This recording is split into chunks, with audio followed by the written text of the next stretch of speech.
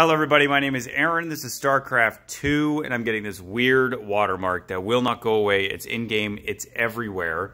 The watermark of Doom. And apparently it is on every single game. Right now I have an MSI laptop hooked up to a monitor with a keyboard. And how to get rid of this is left control, left shift, and S.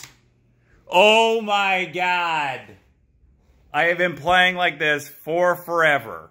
Left control, left shift F. Does it bring it back? It does.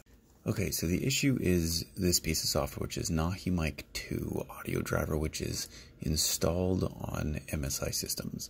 If you open the control panel for it by double clicking and you head over to HD Audio Recorder 2, you can actually turn it off. It's a launch pad. I tried changing the hotkeys, but I guess you can't do that. So just turn it off and you won't have to worry about this anymore. Thank you all for watching. I hope this helped you, and we will see you on the next one.